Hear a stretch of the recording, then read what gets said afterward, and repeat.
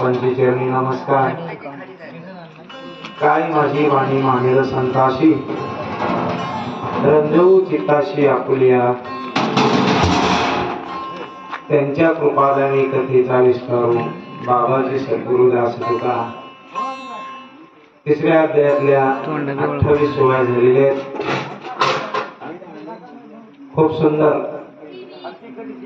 विवेचन माने महाराजांनी केलेलं आहे. मी त्यांच्या विवेचनाबद्दल एवढंच बोलतो. एवढं निक्क दूर आता समाजाला पोचत. कारण एवढं निक्क पचत नाही. थोडं पाणी मिसळलं की जरा सोपं जाते. आता थोडं मी पाणी मिसळून सांगण्याचा प्रयत्न करीन. तुम्हाला क्षमा मागू. रावण विचार करायला गेलाय. हनुमानजी गेलेत. प्रतिज्ञा करून गेलेत. म्हणजे औषधी घेऊन येतील.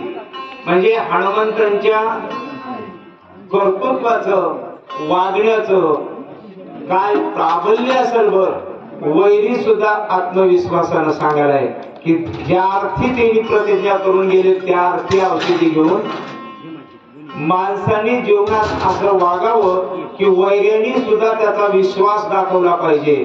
की हो हा माणूस असा करणारच. तस हनुमानजी गेलेत ना औषधी आणतील म्हणून काळीला चिंता रावणाला चिंता लागलेली आहे.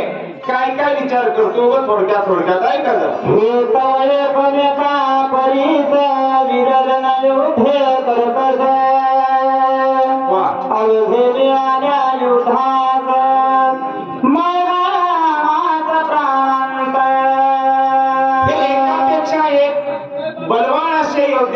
एकाहुनी एक बळी रे. आणि सगळे जर एका जागी झाले तर मग मात्र मात्र मरण जवळ आले असे रावण म्हणालाय.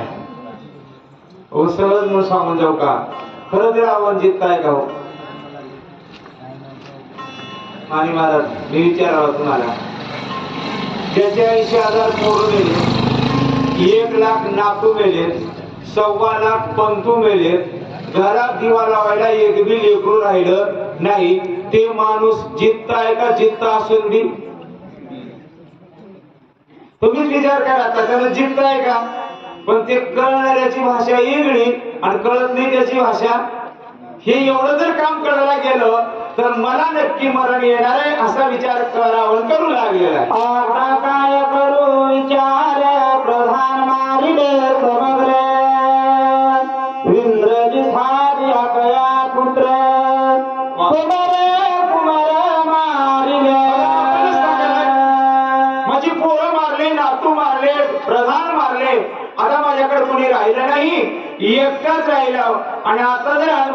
औषधी आणल्या लक्ष्मण उठला तर मलाही मरण जवळ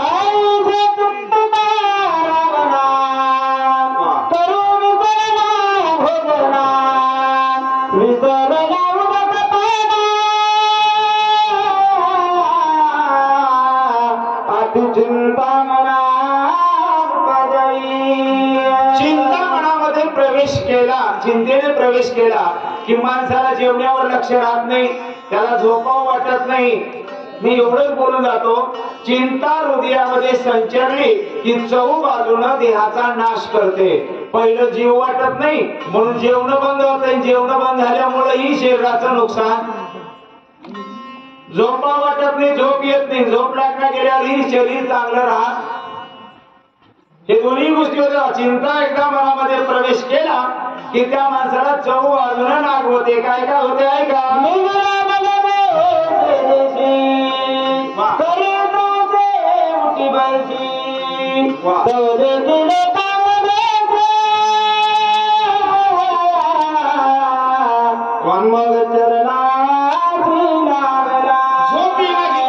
उठालाय बसालाय उठालाय बसालाय एवढ्यामध्ये तव देखील काळ नेमीशी काळ नेमीच्या घरला गेला नाही काळ नेमीला पाहिलं असा ओळीचा एक सार निघतो आणि याचं मी एवढं चिंतन सांगू जातो अशा प्रसंगातही काळ नेमीची आठवण राहणारा झाली? तव देखील काळ नेमीशी म्हणजे काळ नेमीची आठवण झाली?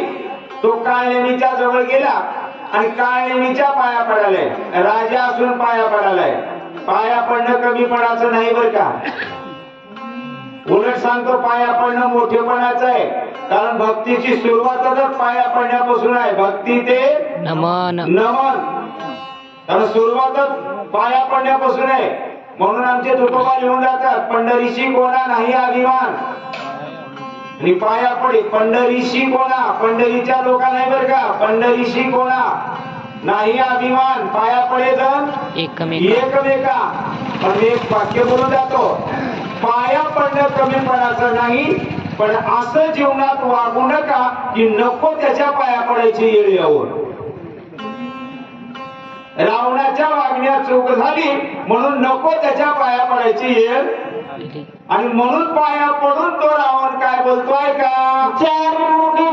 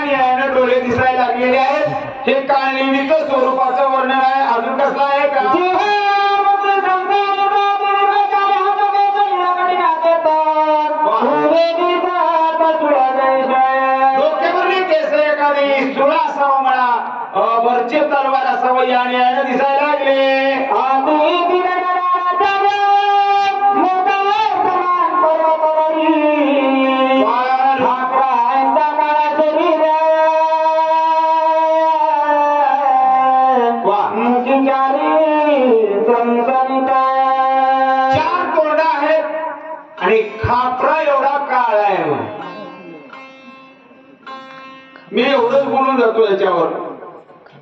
आपल्याला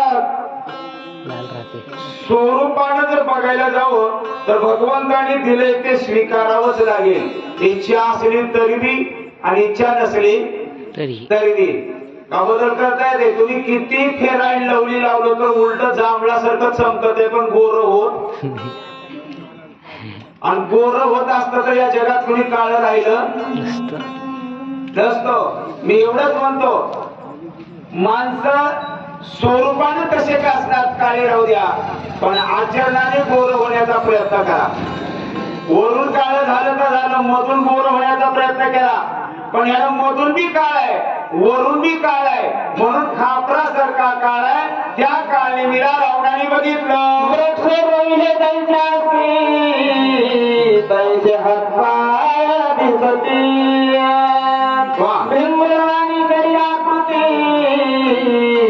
वा. भीती अहो, हातपाय जाण्यास सवय न्यायनी आहेत आणि त्याला बघितल्या बरोबर यमानी सुद्धा जीव सोडावं असल्या स्वरूपाच्या काळनिमीला बघितलं आते भयानक शरीर पाठी दगजीर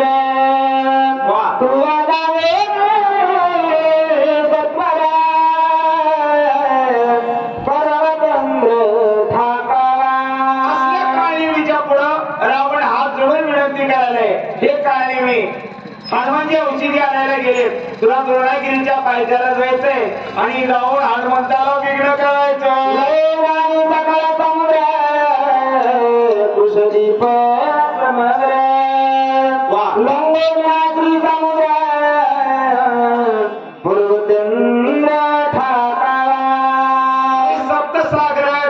महाराजांनी सांगून गेले मिठाचा असेल खारा गोडा वगैरे वगैरे.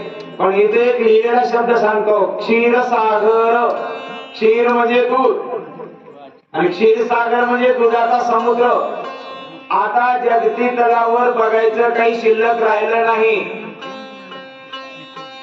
मग मला सांगा दुधाचा सागर कुठं आहे ऐकण्यात आले का? दुधाचा सागर सापडला असता तर एवढं दूध महाग झालं? नसतं. बोटीनं आणले असते. पण दुधाचा सागर जिथं आहे तिथं भगवंताची वसाहत आहे. देवाचं राहणच कुठं आहे? क्षीरसागर वासी मग देव कुठे राहतो? तुझापाशी. देव कुठे राहतो? कैसा? हृदयामध्ये मी रामू. रामू. हृदयात राहतो. आणि दुधाची उत्पत्ती कुठून होते? दूध निर्माण कुठून होते? हृदयातून म्हणून त्या हृदयस्थ असलेल्या भगवंताचा आहे बरं का. म्हणून त्या क्षीर सागराच्या पलकड्या बाजूला तुला जायचं म्हणून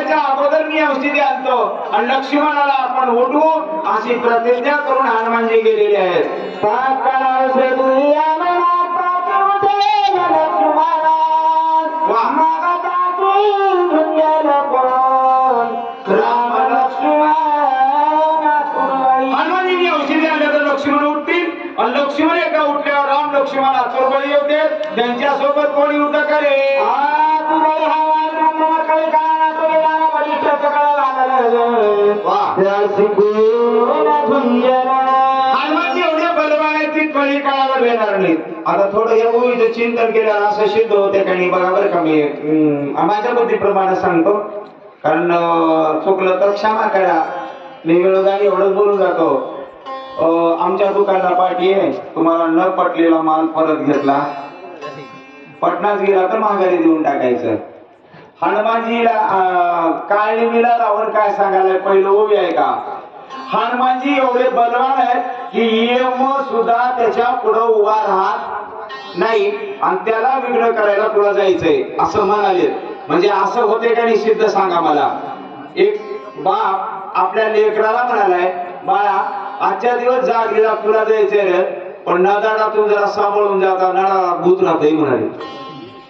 आता भूत राहते म्हणून आल्यावर ते लेकरू पलीकडे जाईल का? म्हणजे भीतीला अवकळी का ज्याला भेट? भेटतो असे हार म्हणजे आणि त्याला विघ्न करायला तू जाणं म्हणजे भीती दाखवायला की याची? आधी भीती दाखवायलाय आणि मग म्हणालाय त्या हनुमंताला विघ्न करायला तुला जायचंय. करुणी ब्रह्मशक्ती हे उर्मिला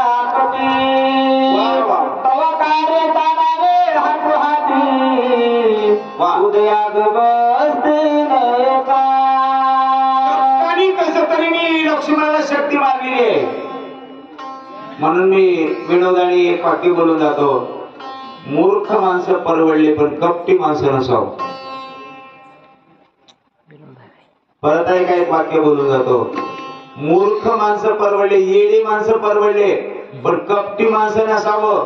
कारण मूर्ख माणसं येडे माणसं स्वतःच नुकसान करून घेतात आणि कपटी माणसं दुसऱ्याचं नुकसान मग काही कसं तरी मी शक्ती मारलेली आहे. दिवस निघाल्यावर लक्ष्मण मरणार आहे. तो हनुमंताला औषधी आणू देऊ नको. राम सदा पूर्ण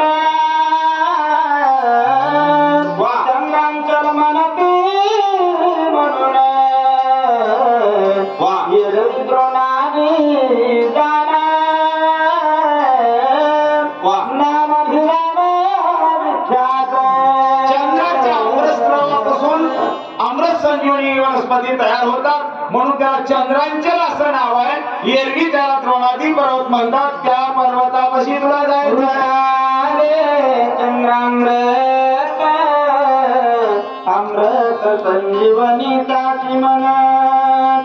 औषधी आयुष्या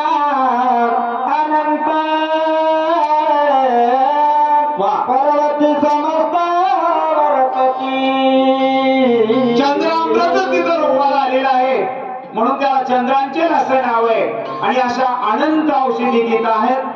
मी एका शब्दावर थोडा भर देऊन जातो बरं का. ऐशिया औषधी समस्त अतये स्थानी आहेत म्हणलेले. वर्तती शब्द आहे. आणि वर्तती या शब्दाचा अर्थ आहे फिरतात. वर्तती शब्दाचा अर्थ आहे ते फिरतात. हनुमंताला औषधी काय करून दाखवल्या गेल्या गेल्या?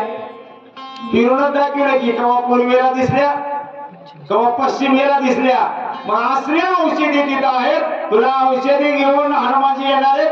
विघ्न करावं लागणार आहे.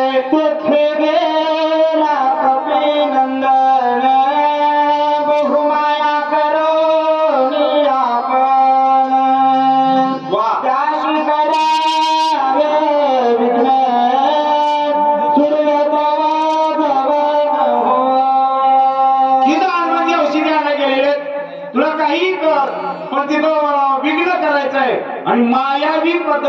विघ्न करून हनुमंताला अडकावायचंय असं काळनिमीची विनंती रावण करू लागला.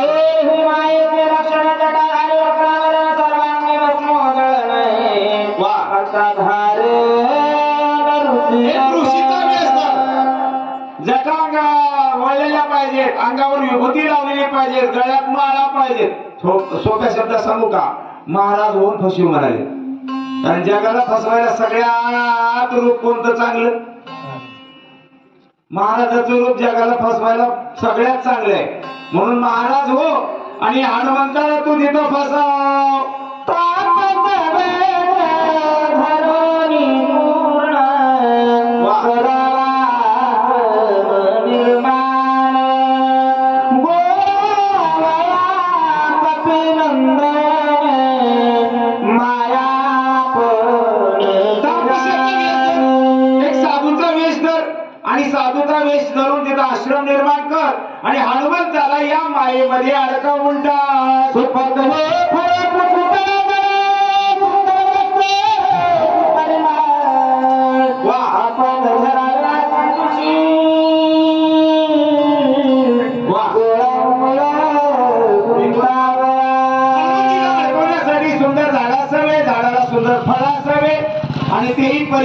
पिकलेले फळ असावे. म्हणजे फळ बघून हा म्हणजे कधी म्हणालाय रावण.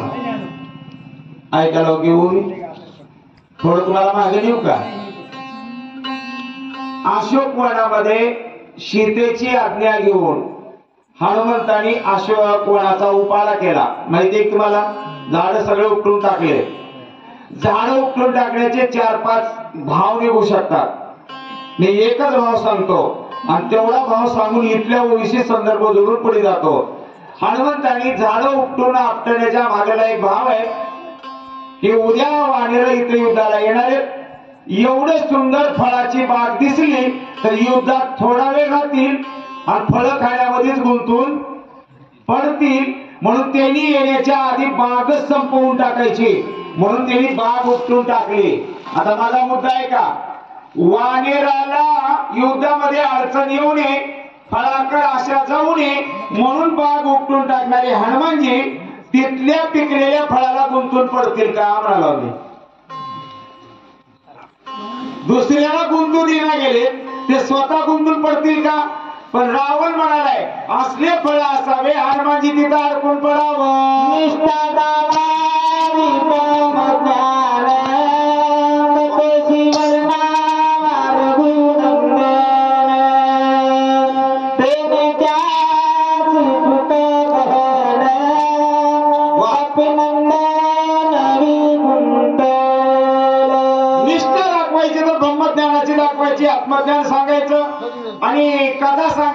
तर रामाची सांगायची. आणि राम कथा ऐकायला हनुमानजी अडकून करा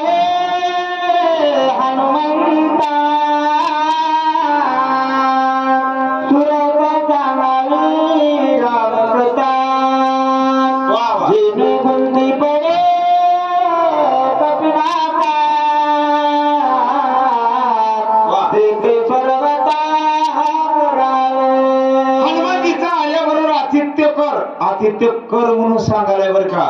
कारण मी सांगतो तुम्हाला आमच्या देशाची संस्कृती आहे अतिथी देव. देवोभव मानणारी. आलेल्या अतिथीची पूजा करायची आहे ही संस्कृती जगात दुसरीकडे जास्तीत जास्त नाही. काही आपल्या देशाची वैशिष्ट्यपूर्ण घटना आहेत. मी काल एक सुंदर वाचलं होतं माने महाराज. वाचलेलं सुंदर मला वाटलं म्हणून तुम्हाला सांगून जातो. स्वामी विवेकानंद शिकागोला धर्म परिषदेसाठी गेलेले होते. सगळ्यांना माहितीये मी फक्त मुद्दा सांगतो. स्वामी विवेकानंदाला तिथल्या कुण्या लोकांनी विचारलं तुम्ही कुण्या देशातून आला स्वामी विवेकानंदानं मी रामाच्या देशातून आलो म्हणून सांगितले नाही मी कृष्णाच्या देशातून आलो म्हणून सांगितले नाहीत. ना मी भारतातून आला म्हणले नाहीत. ना इंडियातून आला म्हटले नाही. स्वामी विवेकानंदांनी तिथं दिलेलं उत्तर आहे का? त्याच्यात आपल्या देशाचा मोठेपणा किती एवढा ध्यान धरून जा. स्वामी विवेकानंद तिथं म्हणाले होते मी पतिव्रतांच्या देशातून आलो कारण जगाच्या पाठीवर पतिव्रता बघायचा असेल तर फक्त भारतामध्येच बघायला मिळतात.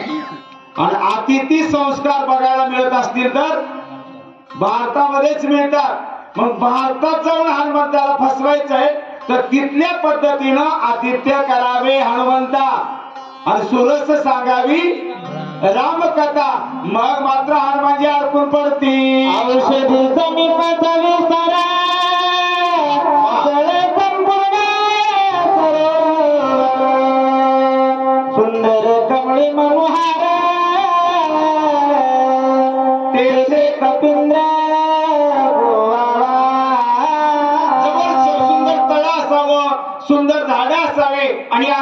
ठिकाणी हनुमानजीला तू अडकवून ठेव. तेथे महासुर राक्षसी प्राणी मात्र सगळे राजी वा. आपण युक्तीचा दावी ऐशी वा. जगपिंद्राशी तरी तिथं बघला तळ्या तळ्यामध्ये विवशी आहे म्हणा.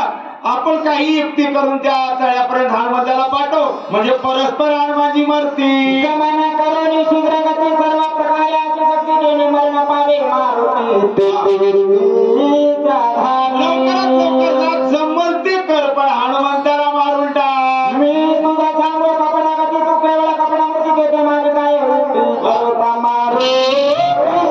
मी तुला कपट सांगायची गरज नाही तू तर कपटाची मूर्ती आहेस जमल तसं कर पण हनुमंताला मारून टाक.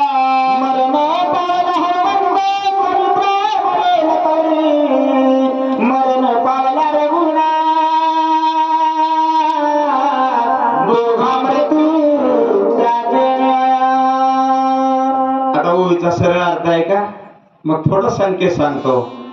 हनुमानजी गेले की लक्ष्मण मरणार मरणारच. कारण औषधी येणार नाही. आणि औषधी न आल्यामुळे लक्ष्मणजी मरतील. पण लक्ष्मण गेल्यावर राम मरणार म्हणाले. राम का मरतील हो? औषधी नाही आल्यामुळे लक्ष्मणजी मरतील हे मी मान्य केलं. पण लक्ष्मणजी मेल्यामुळे राम का मरतील? कारण या सूर्यवंशाची मालिकाच अशी आहे. की एकासाठी एक मरतात. मी विनोदाने बऱ्याच वेळेस सांगत गेलो. तुमच्या इथं प्रसंग आला नाही त्या अध्यायाला मी कधी बसलो नाही. विदेशी संस्कृती आणि आपल्या संस्कृतीतला बदल तुमच्यापुढे मी ठेवून जातो. फक्त बदल. बघा. नातू मेले पंतू मेले लेकर मेले एवढे सगळे मेल्यावर सुद्धा रावणाचा खटपट अजून चालू आहे की माझं राज्य मला मिळावं लागतंय. हे विदेशी संस्कृती सांगितली. दाखवून दिलो मी. सगळे मेले तरी मला राज्य मिळावं म्हणताय. हे विदेशी संस्कृती आहे. आता आपल्या देशातली संस्कृती सांगतो. याच रामायणातला पहिला अध्याय झाला. दुर्दैवानी नजर चुकली दशरथ राजाचा बाण एका लेकराला लागलाय. श्रावण बाळ श्रवण कुमार खरं नाव आहे त्याचं नाही का? श्रावण बाळ. लेकरू मेलं. लेकरू मेलेली वार्ता मायबापाला कळाली. मायबापाने दशरथ राजाला एक श्राप दिला आणि दोघांनी जीव सोडून ऐकायला हो की? दोघं नवरा बायकोनी जीव सोडून दिला. त्यांचे लेकर किती मेलते हो? मग एक लेकरून गेलं तर दोघं नवरा बायको मरतात ही आमच्या देशाची संस्कृती आहे. जरा पुढे जाऊन सांगू का? आमच्या लेकराला समाजामध्ये मान मिळत असेल समाजामध्ये समाज स्वीकारत असेल तर आम्ही दोघं नवरा बायको मरायला हरकत नाही. म्हणून इंद्रायणीमध्ये रुक्मिणी माता आणि विठ्ठल पंतांनी आत्महत्या केली. आपल्या लेकराच्या सुखासाठी इंद्रायणीत आत्महत्या करतात. ही आमची संस्कृती आहे. आज सगळ्या नाता पंथाचा काटा काढून बी राज्य मिळावं लागते म्हणाले ही विदेशी संस्कृती आहे. रावण म्हणालाय हे राम लक्ष्मण मेला की राम मरतय. आणि राम मेल्यावर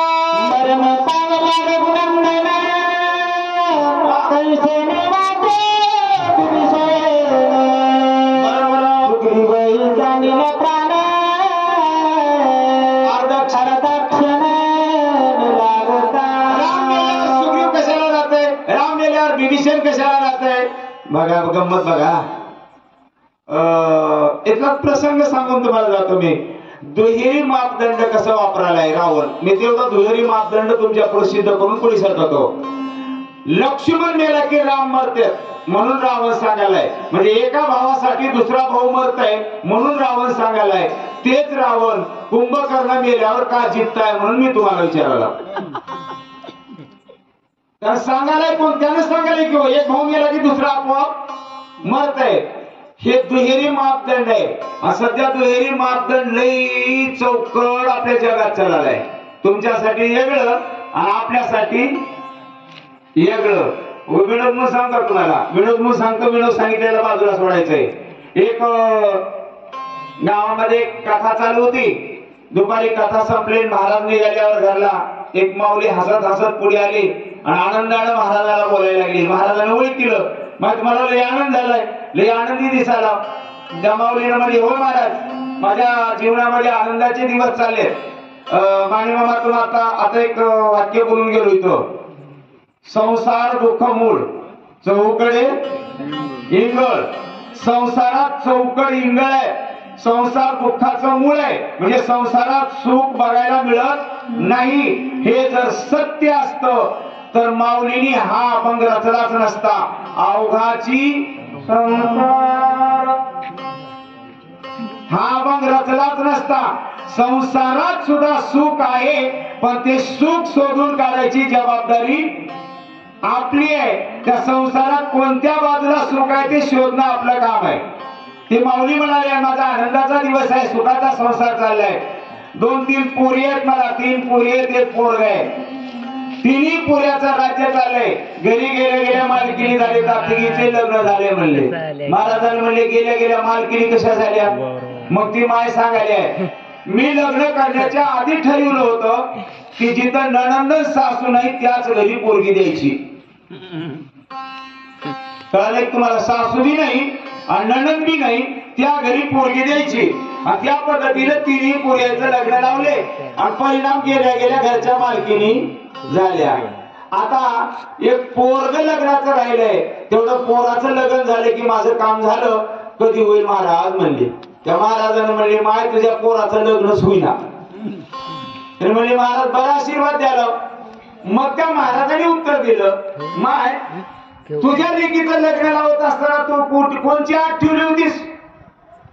ज्या घरात सासू नाही आणि नाही त्या घरामध्येच पोरगी द्यायची.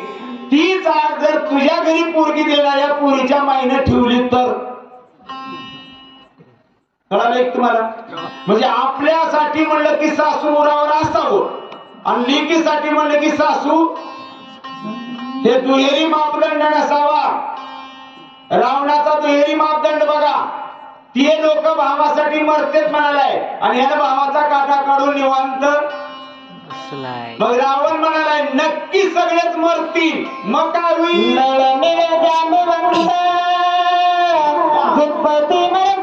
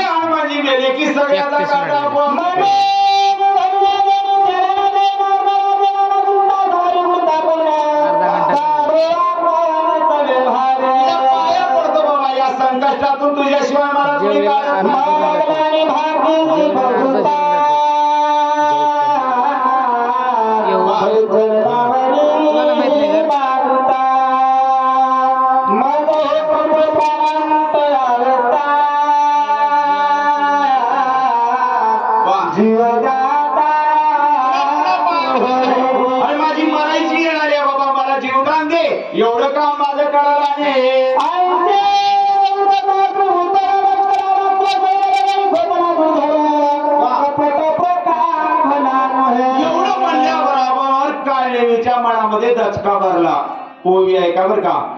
कपट प्रकार भला नव्हे कपट करणं चांगलं नाही असं रावण म्हणालाय. करून काळनेमी म्हणालाय. करून करून म्हणालाय का उग वाचून म्हणालाय? ते काळनेमीचा हिशेब चाललाय ना आता. जन्म कशात गेला याचा? कपट करण्यात. आणि एवढं कपट करून आता म्हणालाय कपट करणं बरं नाही. म्हणजे एवढे कपट करून त्याच्या अनुभवाला आले की कपट करणं बरं. मग त्याचा अनुभव आपल्या जीवनामध्ये सरळ उतरून या. कोणता? कपट करणं बरं. कुणाचंही कपट केल्यावर त्याचं चांगलं झालं नाही काळेनी विचार करू लागला.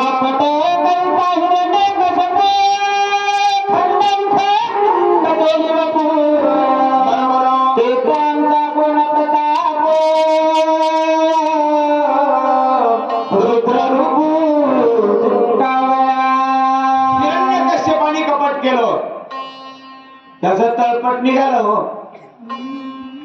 प्रल्हादाला मारण्यासाठी खूप प्रयत्न केला.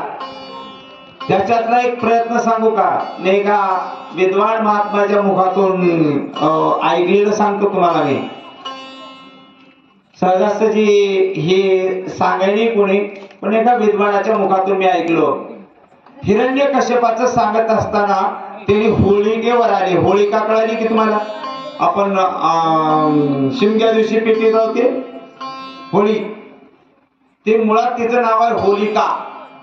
ती रावणाची हिरण्य कश्यपाची बहीण आहे. तिला भर ब्रह्मदेवाचा वरदान होता. आणि आग्नीपासून तुला बाधा होणार नाही. पण ते वरदान कसं होतं ह्याच्यावर त्यांनी भर दिला होता. मी ते सांगतो. वरदान होते हे सगळं पण आपल्याला माहितीये ब्रह्मदेवाने त्या माऊलीला एक दिव्य वस्त्र दिलं होतं. हे वस्त्र अंगावर जर परिधान केलं तर तुला आगडीत गेलीस तरी बाधा होणार नाही. असं एक दिव्य वस्त्र दिलं होतं. तेच वस्त्र अंगावर परिधान कर आणि मावगड्या मांडीवर प्रल्हादाला घेऊन बस. आम्ही पेटवून देता म्हणजे प्रल्हाद जळून जाईल. आणि तू त्या दिव्य वस्त्रामुळे वाचतील. म्हणून तिला त्या होळीमध्ये बसून पेटवून दिलं होतं. पण पेटवायच्या पुढं पुढं लेकराचं तोंड बघितले आणि त्या आत्याला त्या लेकराची दया आली भाच्याची ल- मया आली आणि त्या माईनं विचार केला बाप एवढा निष्ठुर असू शकतो असं मला वाटलं नव्हतं. पण एवढा जर निष्ठूर झाला असेल तर त्यानं निष्ठूरपणाचा कळस घातला असेल. पण मी बाई येणार माझ्याकडे माया येणार मग मीच मरेन. पण मी लेकराला मरू देणार नाही म्हणून ते दिव्य वस्त्र त्या लेकराला गुंडाळलं. ब्रह्मदेवाने दिलेलं वस्त्र स्वतः तिने झाकून घेतली नाही. त्या लेकराला गुंडाळली. परिणाम त्या दिव्य वस्त्रामध्ये लेकरू वाचलं आणि ती होळिका जळून भस्म म्हणून ती होळिका शब्द पडलाय आपल्यापर्यंत आलाय. जर तिनं कपटानं शेवटपर्यंत केला असता तर हे शब्द कुठंतरी बुडाला असता. एवढं या हिरण्य कश्यपाने कपट केलं पण त्याचाही शेवट नाश झाला म्हणून कपट करणं बरं नाही.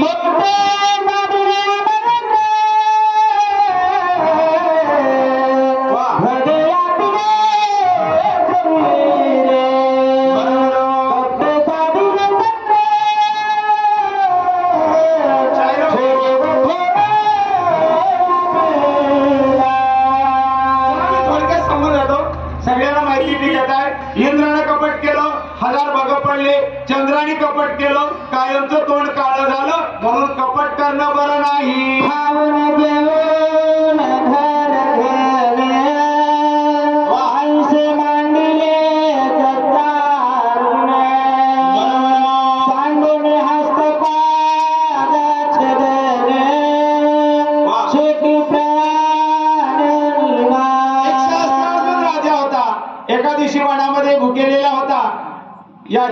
जमदाग्ने ऋषींच्या रेणुका मातेनं त्याला जेवण घातलं कामधेनू पासून प्राप्त करून आणि यानं काम धेनू तोडून घ्यायला निघाला.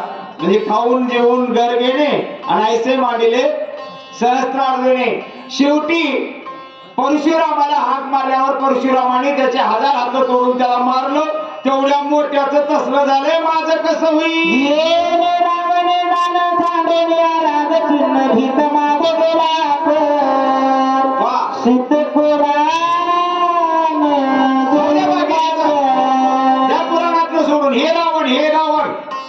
आपलं राज्य चिन्ह सोडला एक भिकारी झाला आणि सीतेच्या दारात जाऊन भिक्षा मागायला लागला. माय मला भिक्षा वाढ माय म्हणून भिक्षा मागितलाय. भिक्षा मागते वेळेस माय म्हणला पुन्हा काय म्हणला?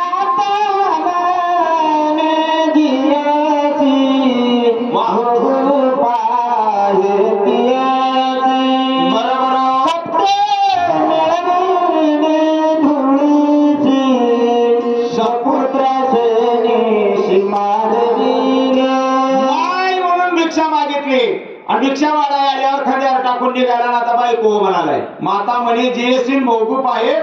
तेसी परिणाम लेकरा नाता सहित याचं धुळीला मिळाले माझं कपट करायला गेल्यावर कसं होईल?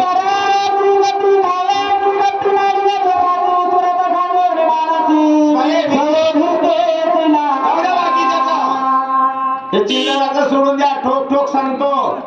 हे देव बळीच्या दारामध्ये कपट करायला गेला.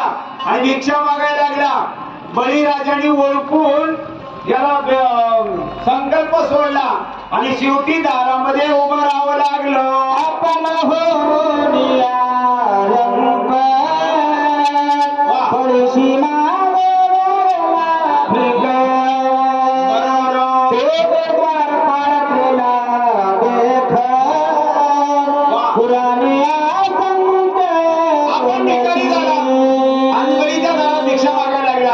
पण बळीराजाने भिक्षा वाढली तर खरी. पण शेवटी आपल्या दारामध्ये द्वारपाळ करून उभं केलं. द्वारपाळ होऊन देवाला उभं राहिले. मोठ्या मोठ्याची असली अवस्था झाली आहे. माझं कसं?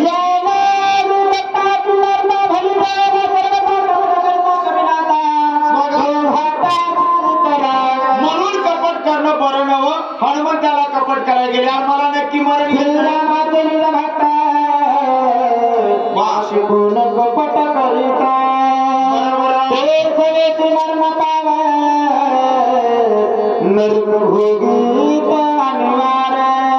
त्यातल्या त्यात रामाचे भक्त असतील त्या भक्ताला कपट करायला जाऊ नका बरं का.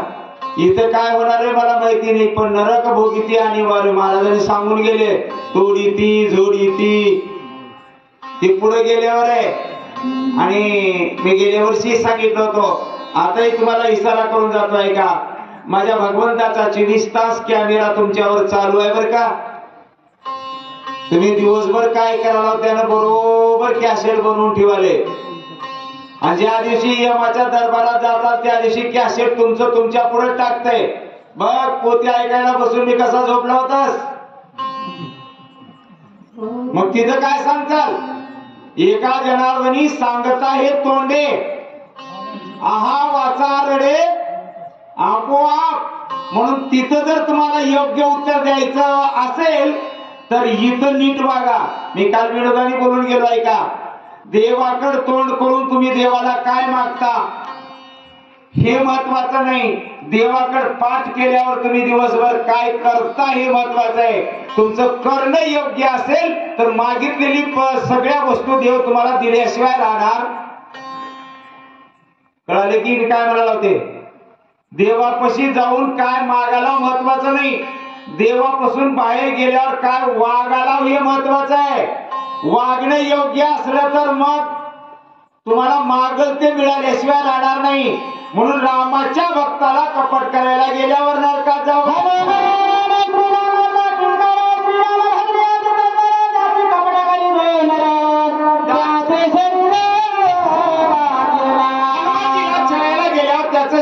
वाचेना. याला दोन बाजू येतात बरं का. एक सरळ बाजू सांगतो. हनुमंताला जर विघ्न करायला गेलो तर आपल्याला मरण नक्की येत आहे हे सरळ बाजू आहे. आणि याच दुसरी बाजू आहे. हनुमंताला छळायला गेलो आणि हनुमंताला हनुमंताने जर त्याला मारलं तर त्याला पुन्हा जन्म घेणं लागत नाही. याला म्हणावं त्याचं शरीर पुन्हा शरीराचा संबंध राहत नाही असा विचार काळजी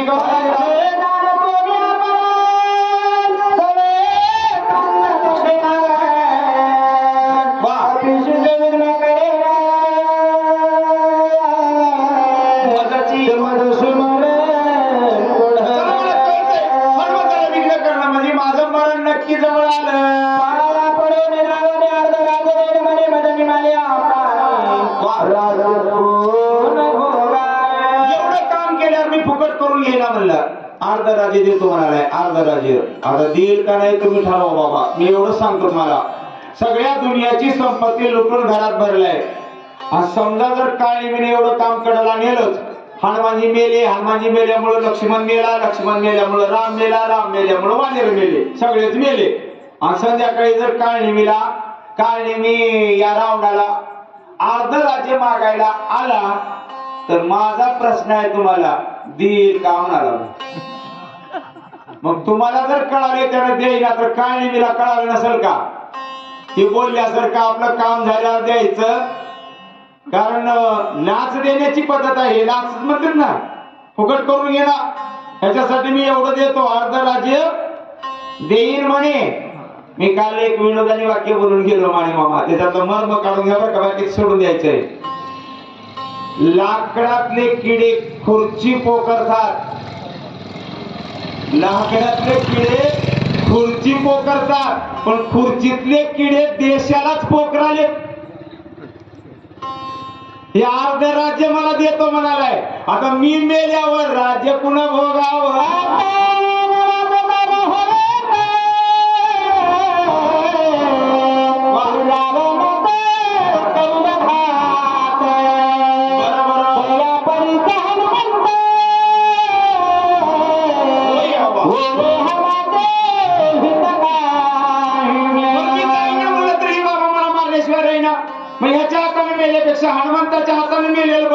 मरण तर दोन्ही बाजूला आहे पण हनुमंताच्या हाताने मेलेलं बरं असा विचार काय मी करू लागला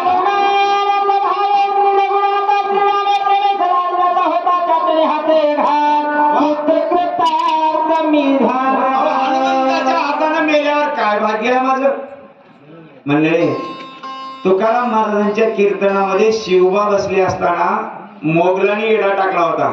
बाकी कथा माहिती आहे मी तुम्हाला मर्मातच बोलून जाईन बाकी कथा सगळ्या तुम्हाला माहिती आहे शिवाजी महाराजांना तुकाराम महाराजांनी इशारा केला तुम्ही कीर्तनात बसा. सेवक सांगत होते मुघलाचं सैन्य आपल्याला घेणार आहे आपण बाहेर गेलेलं बरं. तुकाराम महाराज म्हणले कीर्तन सोडून जाऊ नका.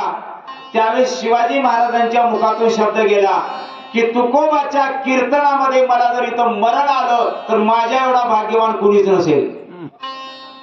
मरण उद्या आज नाही उद्या कधी ना कधी येणार आहे. पण तुकोबाच्या कीर्तनात मरण येत असेल तर माझ्या एवढा भाग्यवान कोण आहे?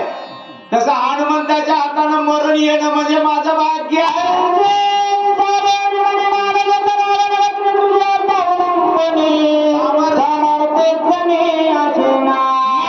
विचार केला आणि वरून म्हणालाय मालक मालक तुमच्या शब्दाच्या बाहेर कोण?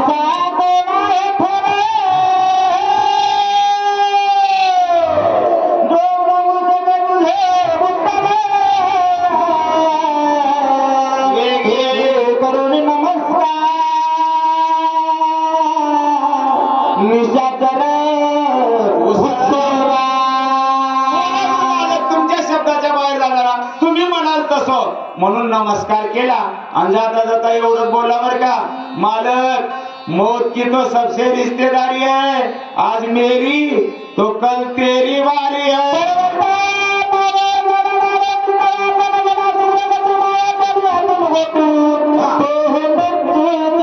हनुमानजी येण्याच्या अगोदर त्याला जाऊन पोहोचलाय हनुमानजी अगोदर निघाले. काळेबी नंतर निघालाय. पण आधी जाऊन पोहोचलाय. आता त्याची कारण महाराजांनी सांगून गेले हनुमानजी सरळ उडी इथं मारलीच नाही. हनुमंताच्या उड्या सगळ्या चुकूनच पडले मी दोन चार उड्या सांगता पण दोन चारही उड्या चुकून पडलेता. लंका आलत आलकडकर उडी पलीकड. रावण सीतेला नेत असताना कोण बाई आहे का करता करायला कोण निघाले बघतो ह्याचं म्हणून उडी मारली. उडी गेली वरी रावण गेला खालून निघून. सूर्याला धरायला गेले जन्मल्या जन्मल्या. सूर्य जायला पलकड चंद्रापाशीच अडकले चंद्रपशीच की हो? हे राहू की तू कुठे चंद्रपशीच की. इथंच अडकले हनुमानजीची उडी वरी गेलती. तवर काय मी मधल्या वाटेने गेला होता. हे जाऊ द्या. पण मी विनोद म्हणून सांगतोय का? चांगल्या गोष्टीपेक्षा वेगळ्या गोष्टीचा वेग जास्त आहे. मेहनत करून आपण शेतामध्ये पीक पेरता पीक आधी वापते का तण आधी वापते? आता ते आधी वापले म्हणून काही निघाले बघा औषध आता. वीस दिवस तरच वापणार ते फॉरून काढले की. पण आधी तण वापते की नाही? तसं आधी काय मी जाऊन पोहोचला. काय काय केलं?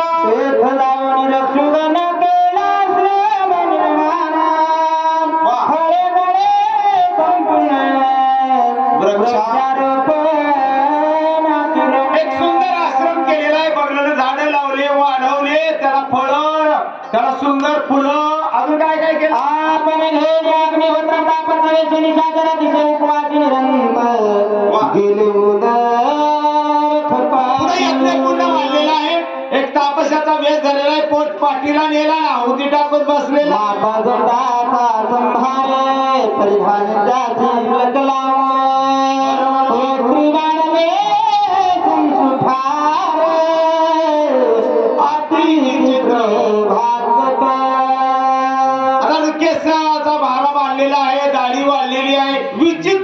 ती करून तो तिथं बसलेला आहे.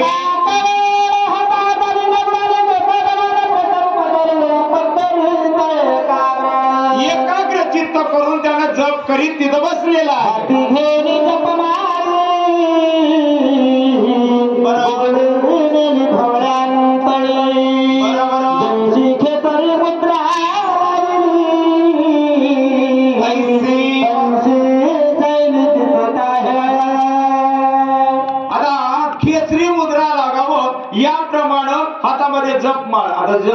की आम्ही विनोदाने सांगायला उमराच्या दोड्याची माळ होती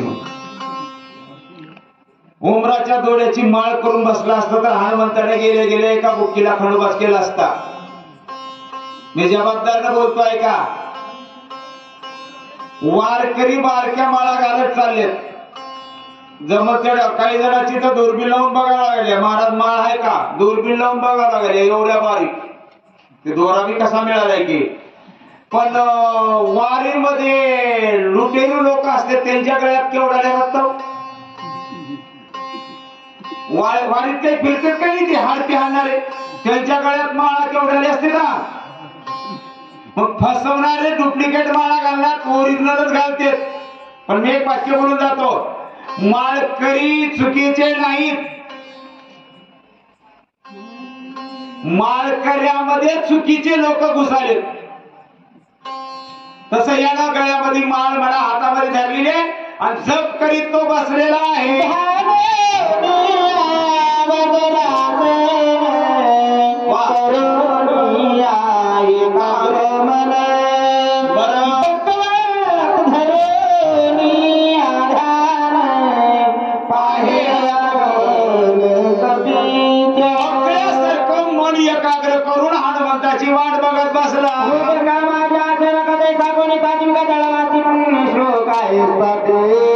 पाण्यामध्ये बसावा महाराज बसल्यासारखं पण बसतय कशासाठी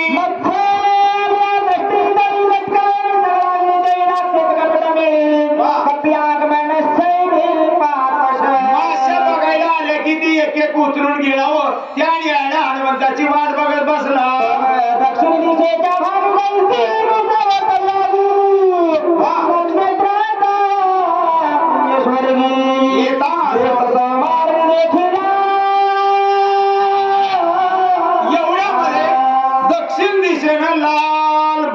भडक काहीतरी आलं असलं दिसलं कसलं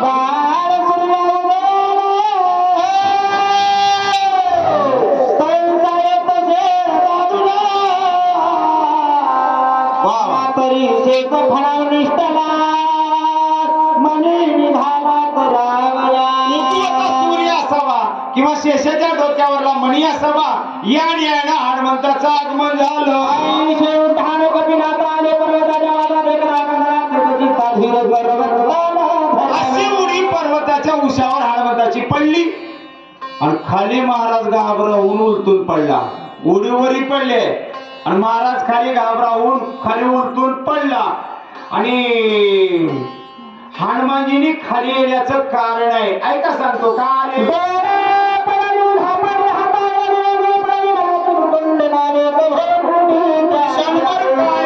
चक्कर आली. पुन्हा आपलं आपलं सांग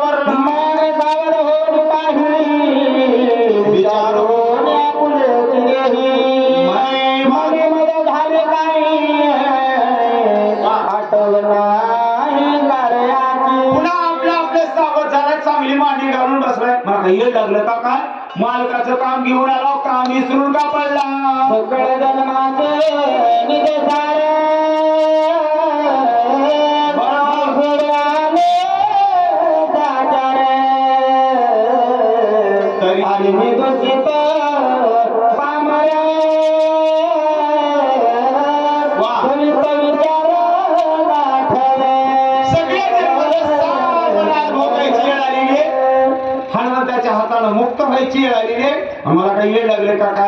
काय जन्माचे म्हणाले. किती जन्माचे? पुण्य येईल की आता मी तेच बोलत होतो माने मामा.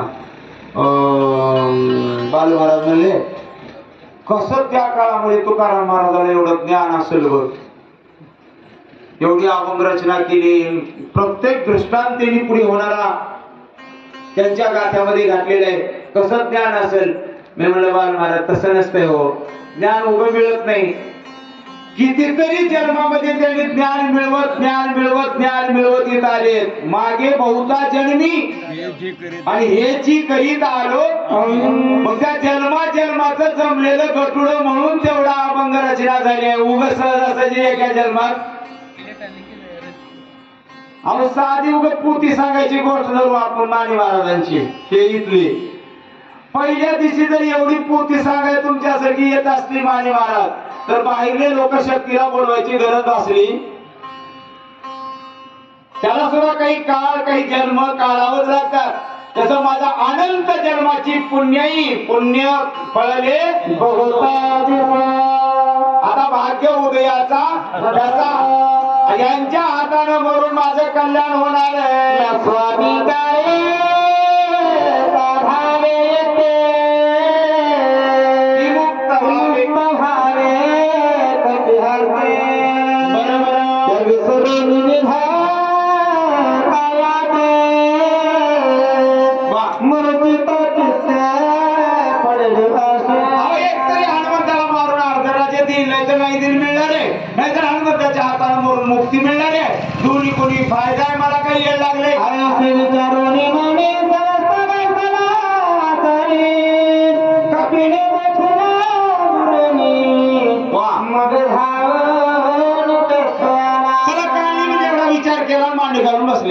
ह्याच जाऊ द्या. आता गंमत बघा बर का. हनुमंताची उडी पर्वताच्या माथ्यावर पडली. आहे औषधी कुठं आहेत? औषधी कुठं आहेत? माथ्यावरच आहेत. औषधी पायथ्याला नाही बर का. पर्वताच्या दक्षिण शिखरी म्हणजे पर्वताच्या माथ्यावर औषधी माथ्यावर. उडी पडली माथ्यावर. काय नेहमी बसलाय? पायथ्याला. काय गरज आहे बर खाली यायची?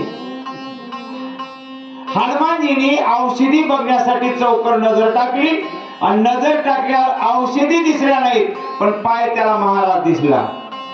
आणि महाराज दिसल्यावर हनुमंताने विचार केला देव सारावे संत पुजावे म्हणून हनुमानजी खाली उतरले. देखिला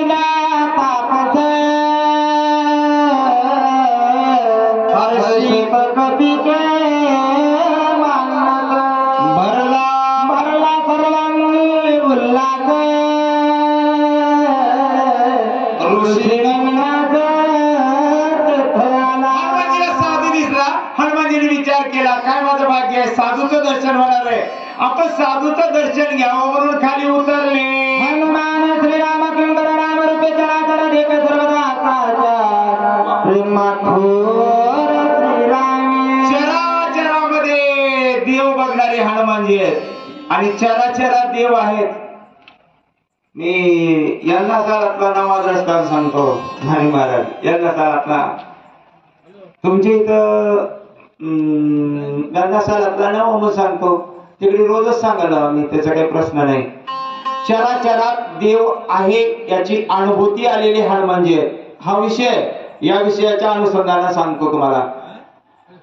काल कोरोना शक्ती होती एक माय बसली होती पुढे लय शेपळ होती माय. विचारलेलं खट खट खट सांगला होती आता इथले सांगतात का नाही मला माहिती नाही.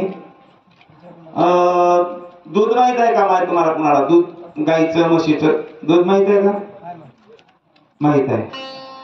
अं, किती दिवस राहते बरं काढल्यावर? दूध काढल्यावर किती दिवस राहते चांगलं? एकच दिवस. वा खरंच ते सांगायचं त्याला काय व्यवहार का चला एक दिवसच राहते दुसऱ्या दिवशी नासून जाते. बरोबर आहे? दुधाचं दही केल्यावर किती दिवस राहते? दोन तीन दिवस. थोडं आंबट होतंय पण दोन तीन दिवस राहते. दह्याचं ताक करून त्याच्यातून लोणी काढलो. लोणी किती दिवस राहते? चार आठ दिवस. लोणी किती राहते? चार आठ दिवस. आणि लोण्याचं तूप केल्यावर किती दिवस राहते? सहा महिने. खर तरी उत्तर आहे सांभाळल्यावर किती बी दिवस. बरोबर आहे? आता मी तुम्हाला माघारी घेतो ऐका. एका दिवसात नासणाऱ्या नासक्या दुधात जसं शाश्वत तूप आहे तसं नासक्या देहामध्ये सुद्धा शाश्वत परमात्मा आहे. गरज आहे फक्त त्याला बाजूला काढून हुडकून बाजू शोधून काढायची. मंथोनी तैसे घे अनंत. तसा अनंत ज्यांनी बघितलाय त्याला चराचरामध्ये देव दिसतो.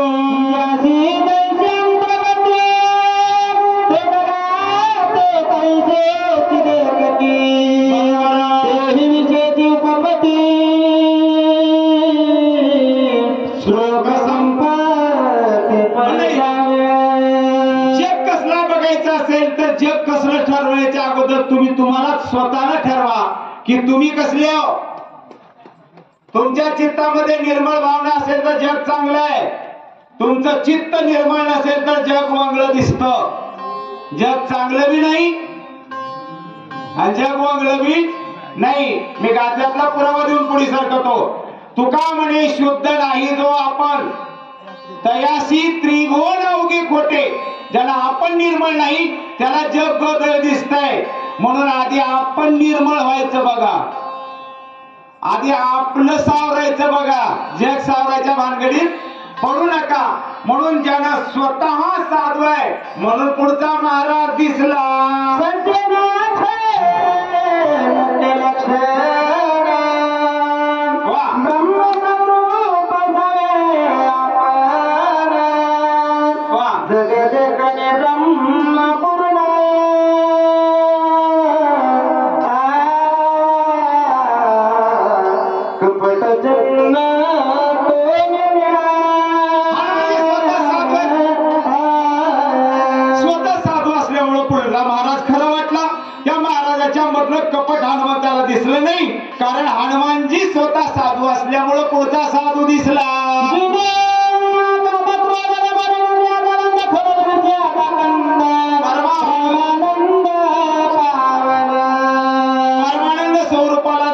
असेल तर ह्या गोष्टी जिंकल्या पाहिजेत. विषयाचा कंद खणून काढला पाहिजे. मी विनोदाने एक वाक्य बोलून जात असतो बर का.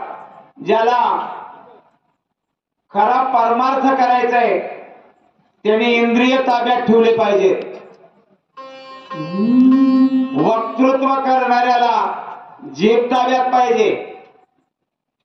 परमार्थ करणाऱ्याचे इंद्रिय ताब्यात पाहिजे. आणि चार माणसं घरला न्यायचं असेल तर बायको ताब्यात पाहिजे. नाहीतर फजितीला काय रवून राहते म्हणून काम क्रोधाधिक विकाराला जिंकलेले साधू असतात. म्हणून त्यांना पुढचं जग निर्मळ दिसत.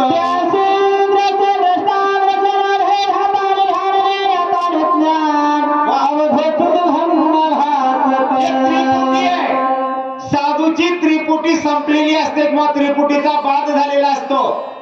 कारण मी एवढंच वाक्य म्हणून जातो. त्रिपुटीच्या सानिध्यात भोगायला मिळते त्याला विशेष सुख म्हणावं. आणि त्रिपुटीचा बाद होऊन भोगायला मिळते त्याला अध्यात्म सुख म्हणावं. म्हणून पाचवी अध्यात्मी ओवी आहे माने महाराज. झाली त्रिपुटीची त्रिपुटीची बोलवण झाली की बस. मग तिथं काही कपाट राहत नाही. हनुमानजीला महाराज खरा वाटला.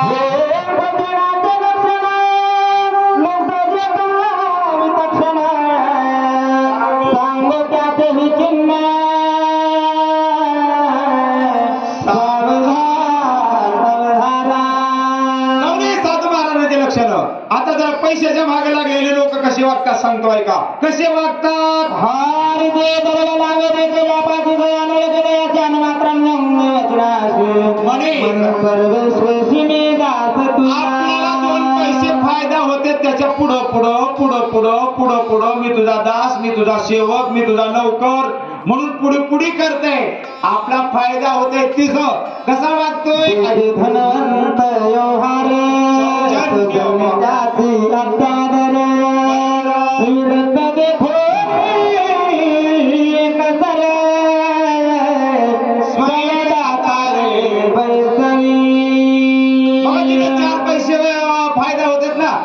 पुढे पुढे पुढे पुढे करते मी हे प्रत्येक गावात सांगतो तेच वाक्य तुमच्यापाशी बोलून जातोय का? मला खरं सांगा तुम्ही. इकडे या रोडनं तुमच्या इथं एक आमदार यालाय तुमचा इकडल्या रोडनं. आणि इकडल्या बाजूने एक गोसाई आलाय तुम्ही मधात उभारला. इकडून आमदार आलाय ते बी दिसाले. इकडून गोसाई आलाय ते बी तुम्हाला दिसाले. मग माझा तुम्हाला बारकुसा प्रश्न आहे. घरला कुणाला न्यावं वाटते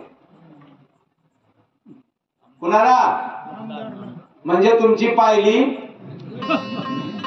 पक्की भरल्या साधी नव मग आमदाराला का नाही आवडते? पहिली मी एक खीर मंजूर केलं तर अजून एखादी करीन. द्रव्य लाभ देके ज्यापाशी हा सदा ओळखे तयासी म्हणजे पैशासाठी त्याचं दास्यत्व स्वीकारतो. हे पैशाच्या मागे लागलेले लोक आहेत. आता ज्याचा विषय बाई झालाय ते कसं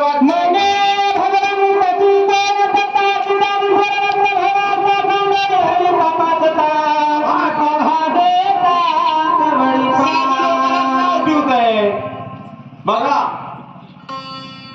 झाले तापशी निघाले. साधू लोकाला नाव ठेवते साधूला नाव ठेवायची काही गरज नाही. मी थोडस विनोदाने बोलून जातो तुम्हाला. इथं संदर्भ नाही पण ओघो विनोदाने बोलून जातोय का? असं धन कमवा. ऐका सगळे बर का? असलं धन कमवा की मेल्यावर सुद्धा आपल्याला गटुड बांधून सोबत नेता यावं. हसू नका असलं धन कमिवता येत. मी जबाबदारीने सांगतो असलं धन कमिवता आणि ते धन जर कमिवलं तर उत्तमत्व एक. गती ते पावेल आणि उत्तम भोगील आता तुमच्यासाठी सांगतो मिळून म्हणून. तुम्हाला जर असलं धन कमवायचं असेल तर महाराज लोकायला दानधर्म करा. घरी आलेल्या उपवासी माणसाला जीव घाला. रात्रभर जर तुम्ही पोटी डोळे झाकणावणी ऐकलो तर त्याच्यातून मिळणार पुण्य तुमचं कोणतं पोरग वाटून घेईल? तुम्ही आता पोती ऐकायला हे मिळालेलं पुण्य तुमच्या घरी झोपलेले पोरं वाटून घेतील का? हे तुमच्या संकटच येणार आहे की? हे पुण्य नावाचं जे नाण आहे ते आपल्यासोबत येणार आहे ना? मग पुण्य नावाचं ना जर तुम्हाला नाणं कमवायचं असेल तर एक काम करताव का? आता विनोद मग सांगायला विनोद सोडून द्यायचं. तुम्ही एखाद्या पाहुण्याच्या लग्नाला जर निघालो तर लग्नाला चाललो आपण रिकामं कसं जावं? मग घरात असलेलं तेवढं सोनं जर गळ्यात घालून निघालो सोनं असलेलं. नसलं तर शेजाऱ्याचं घेऊन का आपण घातल्याशिवाय? सोनं घालून निघालो एस टी मधून चालला. तुमच्यावर नजर कुणाची राहील बर? गळाभर सोनं जर घालून निघालो नजर कुणाची राहील? कुणाची? चोराची बरोबर आहे? त्याला मिळाली नाही तर नाही मिळत पण नजर कुणाची? चोराची. समजा सोन्याच्या ऐवजी जर तुमच्या गळ्यामध्ये तुळशीची माळ असेल तर तुमच्यावर नजर कुणाची राहील? कुणाची? तुळशीची माळ असल्यावर नजर कुणाची? देवाची. मग कुणाची राह वाटाली आहे? नजर कुणाची राह वाटाली आहे? मग देवाची राह वाटत असेल तर तुम्ही काय करा? तुमच्या गळ्यातलं काढा आणि आम्हाला द्या आम्ही तुळशीच्या माळा तुम्हाला. देऊ. मला नका देऊ. पण एक वाक्य बोलून जातो एवढं माझा ध्यानात ठेवा. भगवंतांनी तुम्हाला दिले. जवळजवळ बासष्ट हजार रुपये तोळा सोनं झाले. भगवंतांनी तुम्हाला जर दिलं असेल ना तर गाडीवर सोनं गळ्यामध्ये घाला. पण सोन्याच्या खालून का आपण तुळशीची माळ ठेवा. तुमच्यावर देवाची नजर. पण तुळशीच्या माळाचा तिटकारा असल्या लोकाला. उदास म्हणा एखादी विरक्त माणूस बसला ना त्यालाच लोक ते नाव ठेवतात. हे पैशाच्या मागे लागलेले लोक. आता ज्यांचा विषय बाई झालाय ते कसं पाहतात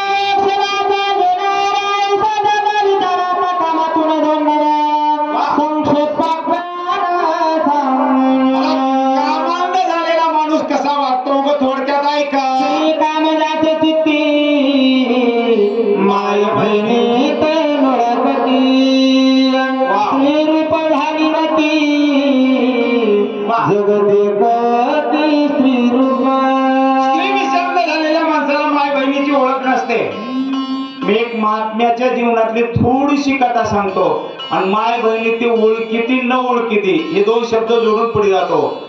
त्या महात्म्याचं नाव आहे सेवालाल. लमाणी समाजामध्ये एक जय सेवालाल म्हणजे एवढं तरी तुमच्या ऐकण्यात असावं. ते सेवालाल म्हणायचं एक महात्मा जन्माला आला. होता होता लहानाचा वयाला आला.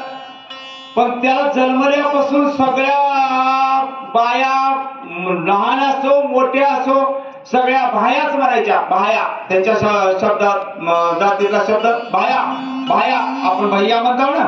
भाऊ म्हणतात तसं भया भाया भाया म्हणायच्या. लेकरू लग्नाला आलं आणि एका दिवशी बापानं आणि माईनं म्हणली बाळा आता तुझं लग्न करा वाटायलंय तू लग्न करून घे. एक चांगली मुलगी बघून तुझं लग्न लावू. त्या पोरानं माईला विचारलं माय जेवढ्या मला आतापर्यंत पोरी भेटले तेवढ्या सगळ्या पोरी मला भाया म्हणते म्हणजे भाऊ म्हणतेता. सगळ्याच पोरी जर मला भाऊ म्हणत असतील तर मी कुणासंगत लग्न करून घेऊ?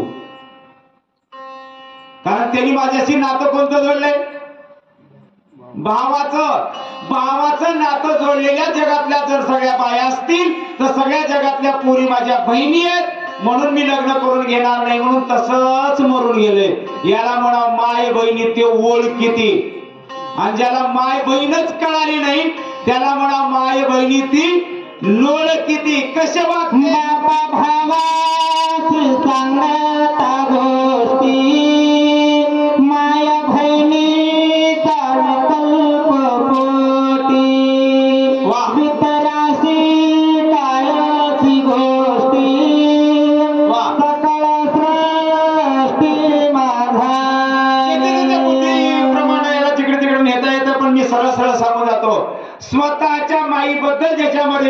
येतो. स्वतःच्या बहिणीबद्दल ज्यांच्यामध्ये विकल्प येतो.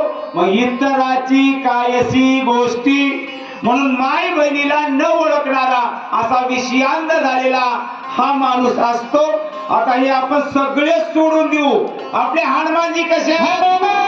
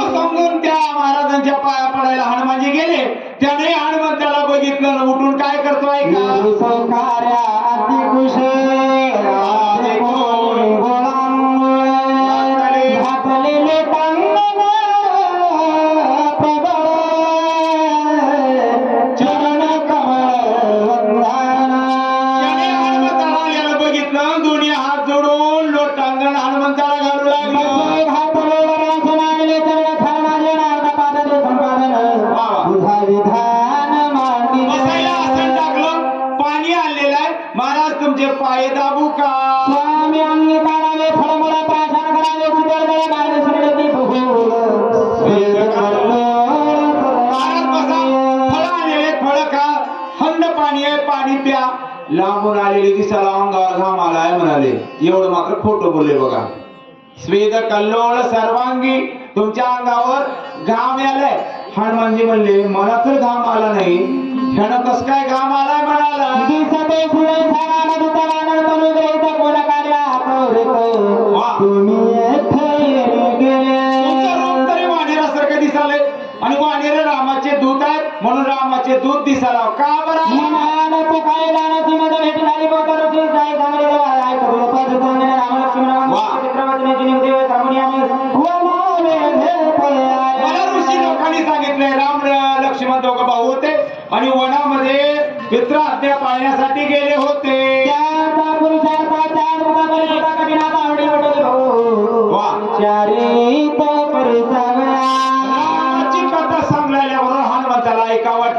मांडी घालून बसले. शनिवारी भांगले हार कोदंड रामाचे काळे तोंड झाले भागवाचे भळवंड येत प्रचंड भेद. त्याला पुरातून सुरू केलं.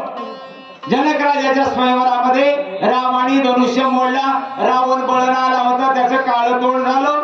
रामाने सीतेला वरून घेतले घरी आले. तो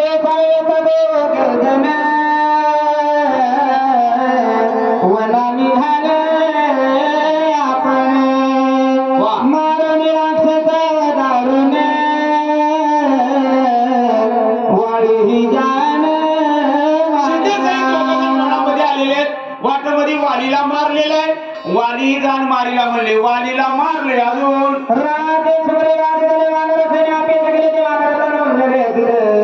म्हणून खुशीने सुग्रीवाला राजगादीवर बसले. वानेर सगळे आपलेसे केले. आणि त्या वानेरात तुम्ही वानेर दिसाला.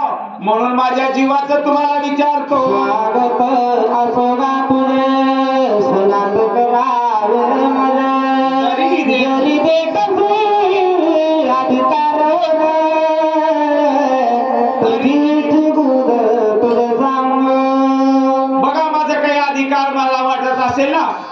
महत्वाची गोष्ट तुम्हाला सांगतो.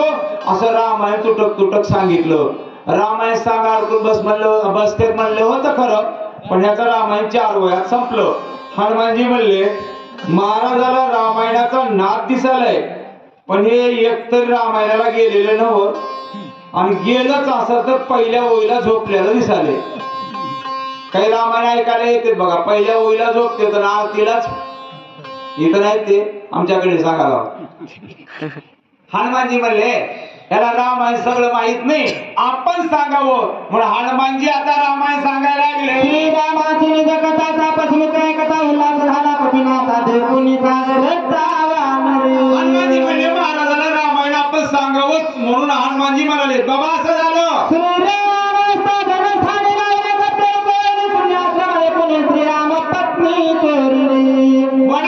चोरी राम असताना पंचवटीच्या ठिकाणी रावण तिथं आला अशी तिला चोरून नेला.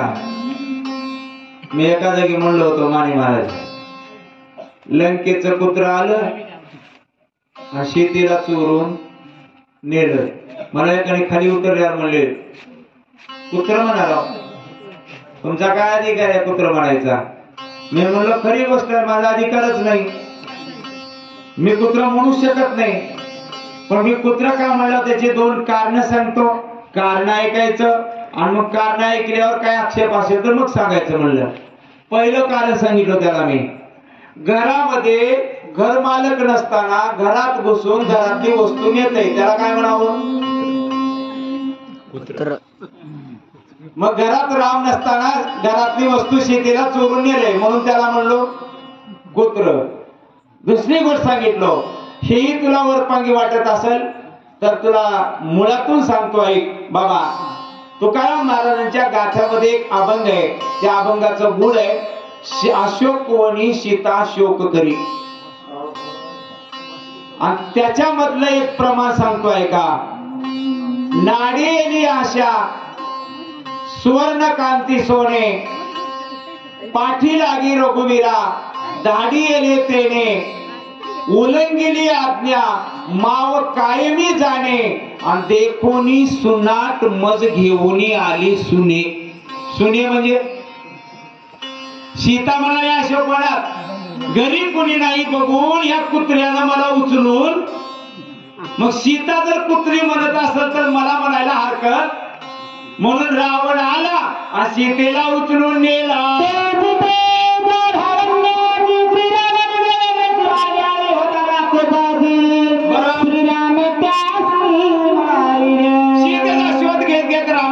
वाटत राक्षस आडवे आले त्याला मारलं.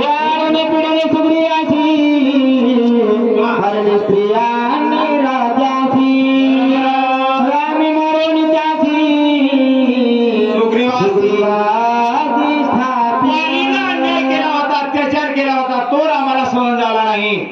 सुग्रीवाला बाहेर घातलं होतं म्हणून रामाने वालीला मारले उपच्या उघड नाही. मी विनोदाने एक वाक्य बोलून जातो ऐका.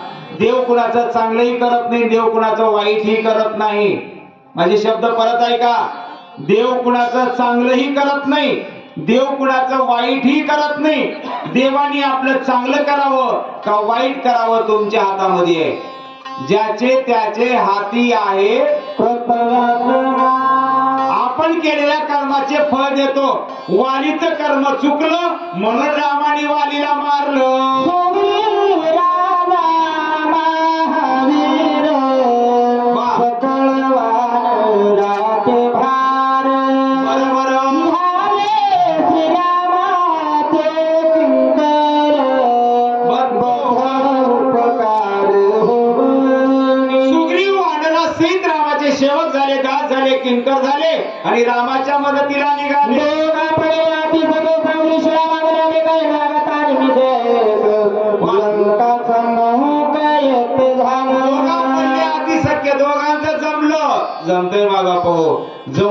जमून तयारी ठेवा. कुणा सगळी जमतय.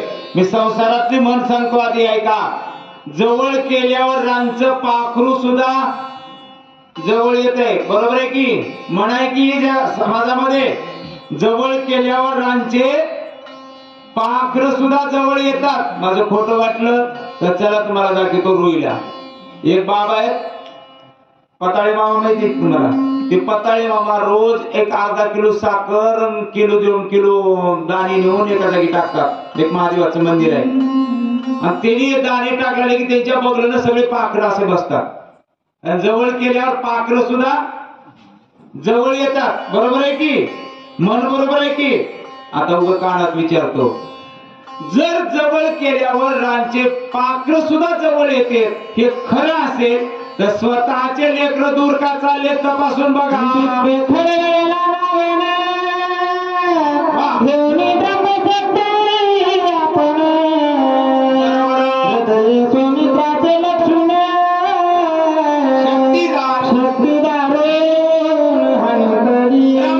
शक्ती युद्ध सुरू रावणाने उचललेली आहे. रामाचा भाऊ लक्ष्मणाच्या अंगावर टाकलेली आहे. लक्ष्मण शक्तीच्या आघातानं मूर्छित पडलेला आहे.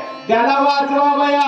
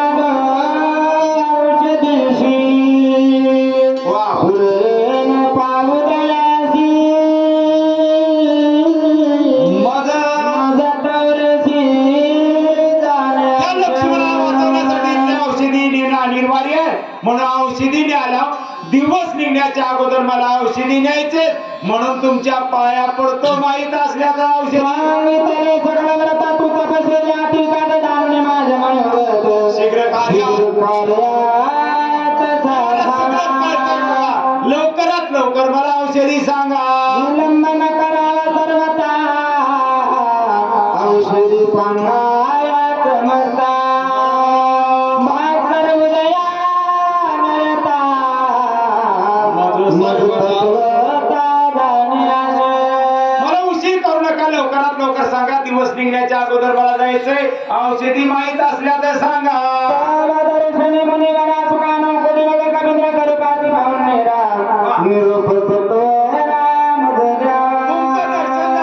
आणि आता तुम्हाला सगळं भरून मिळालं. आता तुमचा नको मला परवानगी द्या.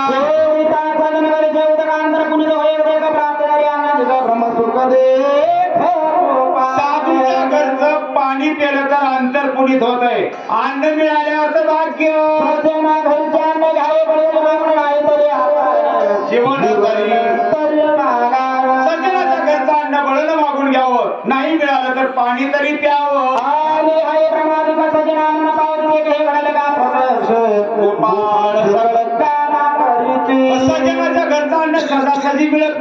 विकायचे असे जळजळी झाले मासे तरी त्यांना मिळालं नाही. म्हणून तुमच्या घरी जेवत बसायला मला येळ नाही.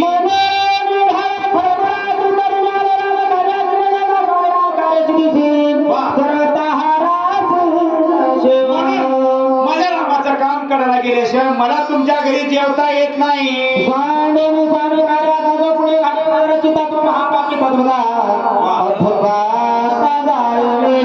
मालकाचं काम सोडून पोटाचा विचार करणारा नरकाला जातो. या न होता पूर्ण. नकरी फळमूळ भोजन. तुझी.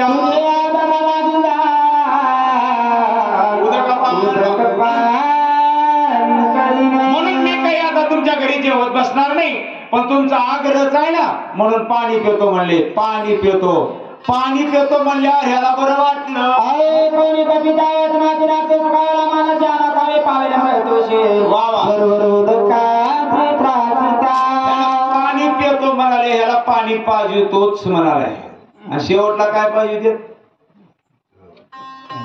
हे शब्द चांगला आहे का वगळा आहे? मला कळा नाही बघा. एखाद्या मध्ये तुला पाणी पाहिजे तो. राग बी येत आणि पाणी पाहिजे काही वाईट?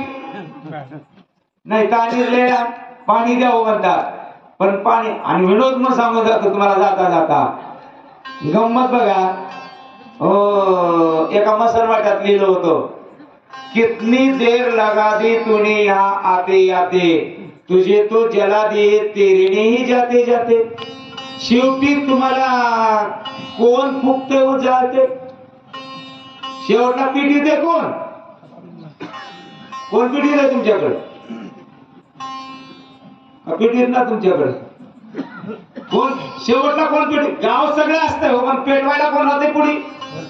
हे बाबा तुझ्या हाताला आधी पिटू मग आम्ही बघून घेऊ. म्हणून आधी पोराला पेटवायला लागते. बरोबर आहे की? पोरग पिटी दे की नाही? माझं एक वाक्य आहे का? कधी ना कधी ज्यांना आपल्याला पिटवणार रे त्याच्यासाठी लोकांचे घर का पेटवाला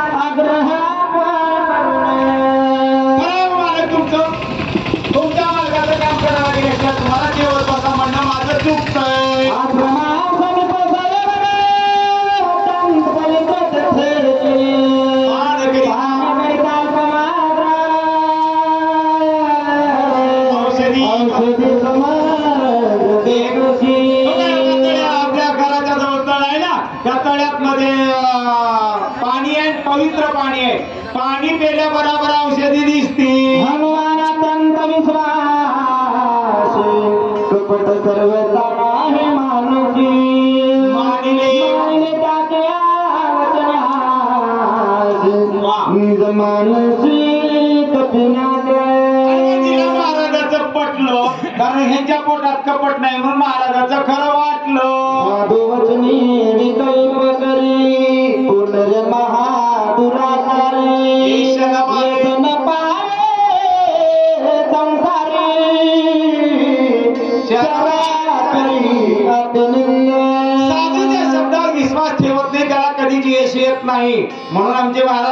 संतांचे पायी. हा माझा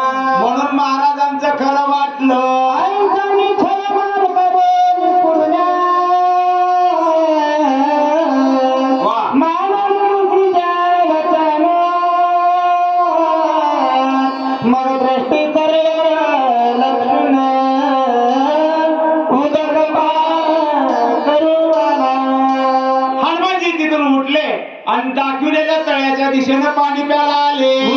पान हनुमंत करावे उदकाला रिगताचे पाय रग पाय तोरीत धरलेला. पाण्यात पाय ठेवून पाणी प्याला वंजळीत पाणी घेऊ लागते. एवढ्यात हनुमंताच्या उजव्या पायाला कशानं तरी धरलं? धरला.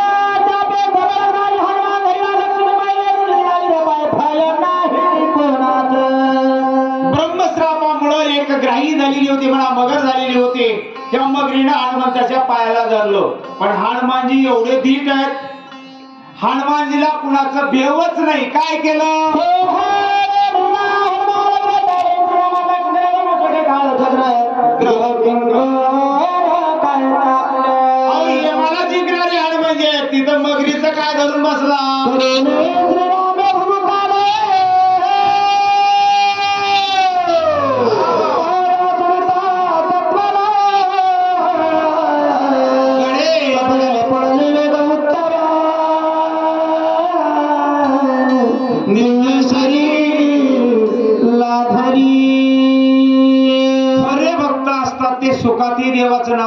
दुःखातही नाव घेतात बरं का देवाचं. विठ्ठल सुखा विठ्ठल दुःख आणतो के या मुखा. प्रसंग कोणताही असो देवाचं नाव मुखामध्ये ज्यांच्या येते ना त्यांना मग दुःख आलं तरी देवाचं नाव. रामनामाचा भुबकार केला आणि पायाला झटका मार